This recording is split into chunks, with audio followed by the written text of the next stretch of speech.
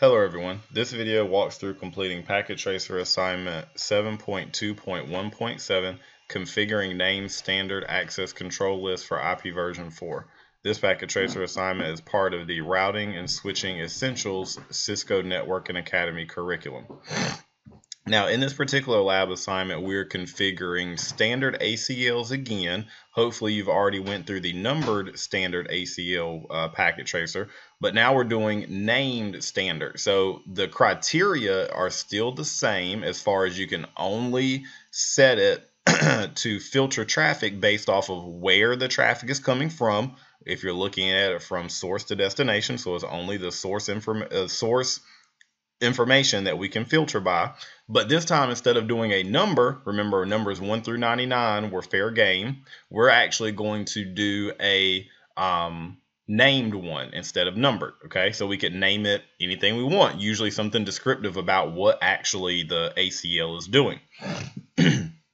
All right, so in this one, all right, let's go ahead and jump into it. You probably want to write it out again. We're still going to use the wildcard mask, so just a quick refresher. A wildcard mask for like a slash 24, which is 255.255.255.0. If you just put all 255s above it and subtract, you get your wildcard. Same thing with like a 25 uh, slash 30 or a 252. Okay, we got 255, 255, 255, 255, we put that all above our subnet mask and then subtract, we get 0.0.0.3 for our wildcard. Okay, and you can do that with any subnet mask. Just put all 255s above it.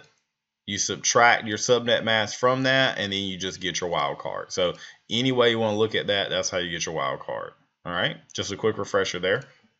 All right, so we're still also going to make sure we apply this access control list because it's standard as close to the destination as possible. Okay, so here we've got R1. We've only got one router here, so we've only got one choice. But it will be important in a minute because we got four different ports here that we have.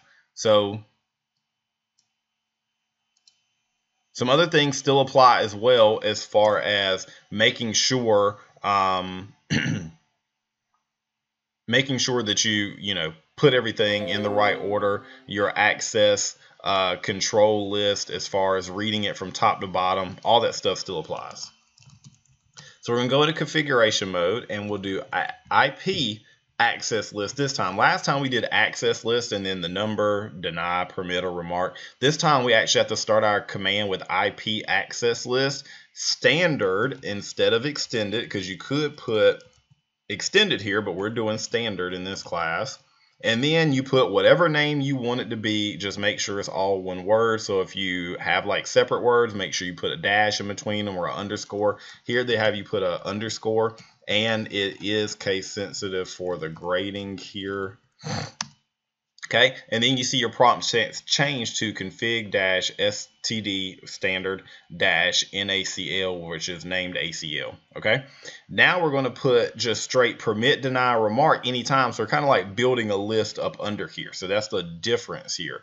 Okay, so we'll just start out with permit, deny, remark. So we're going to do permit host. This is what we were talking about a while ago, and then just put the specific IP address of that one computer. So if we look here, PC1 is 192.168.20.4. So we want to basically allow 192.168.20.4 traffic, but then deny everything else because it has us put a deny any there. Now that deny any was technically already at the bottom anyway, so we really didn't have to do that. But basically what we're doing is saying we want to permit PC1 okay, wherever we place this, but then we want to deny everything else, okay? So what we're going to do is we're going to place this with the same command. All right, it says place it on the outbound interface of FA01. Let's look at where FA01 is. Well, it may not show us if we do that. Let's uh, turn on our port labels there. FA01 happens to be right here, okay? So let me turn that back off because there's a lot on the screen. so this one is FA01. Okay, so FA01 happens to be this one right here. That's where we're applying it. Okay, so for that file server is basically allowing PC1, but it's denying everybody else. So nobody else will have access to, to get to that file server. So we're going to apply it there. So interface FA01, okay, IP access group, because remember that's our command. And then instead of the, the number like last time where we put one, we'll put file server restrictions and then in or out and it'll be going out because remember like last time if our traffic is flowing from here okay going up to R1 is it going to be going out to the server or into it's going to be going out of FA01 to the server? Okay so there we go.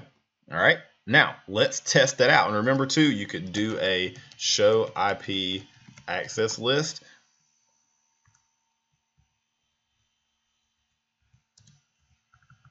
Sorry, put my dash in the wrong place there.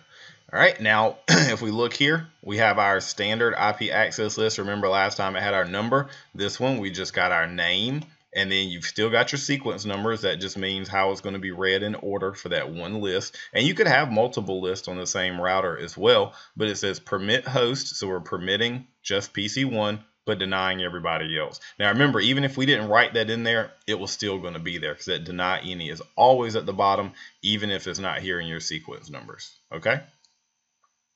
Then as you save your configurations, so remember copy, run, start. Now we want to verify to make sure that's working. So let's try to uh, ping from anybody else, right? So the file server. We get successful when we refire it. Let's try PC2 to the file server though. See it says failed and it won't ever work and it shouldn't. Let's try PC0 because they're technically on the same network, PC0 and PC1. But remember, we didn't do the whole network. We just did that one PC. Now, everybody else still should be able to contact the web server. All right, see, that's successful. That's successful and PC1 should also still be able to contact the web server. So again, we just want to filter traffic going to the file server, not the web server. So that's why we applied the ACLs close to the destination here, so it wouldn't affect any other traffic. All right. So that gives us 100 out of 100 if you look down here. Um, again, the same things. We want to make sure that we only can filter based off of the source of where the packet is coming from. We want to place it as close to the destination as possible, okay, of what we actually control, because some that times that's a little relative. Um, but again, here we only have one router, so we want to make sure we place it on the interface as close to the destination, which happens to be the file server